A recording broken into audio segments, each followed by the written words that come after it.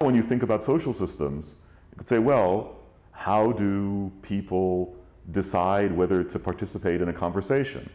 How do their opinions change because of listening to their friends or the TV or not their friends?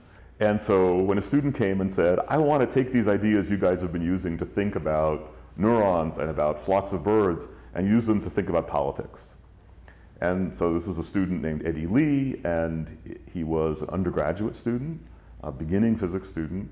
Uh, he's now getting his PhD, um, working on other things. But during this period, uh, my advice to him was to look at a place where there was good data. Uh, he settled on the Supreme Court, uh, which in the United States is nine people, so it's not a thousand, it's, it's a few but already uh, some things emerge. For instance, although we usually think of politics in the United States as being very polarized between right and left, in fact, most of the decisions from the Supreme Court are unanimous.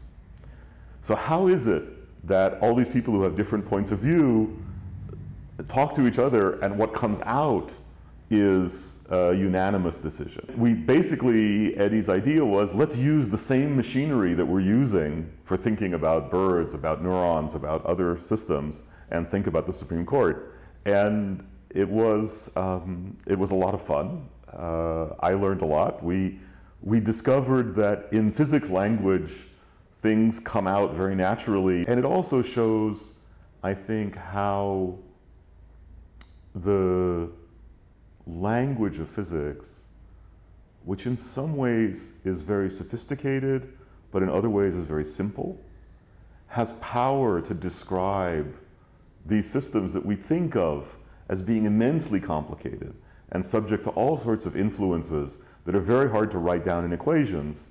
And yet there's a path that's suggested by, by the traditions that we've, that we've developed in statistical mechanics. There's a path to writing down a description of how these decisions emerge from interactions among the judges that seems natural from the physics point of view and turns out to really work in the sense that, that not only can we explain why it is that, that, that the decisions are unanimous so often, but we can actually calculate, you know, how often do you expect to see uh, a six to three split on the court? And we actually get all those numbers right which, which really surprised us.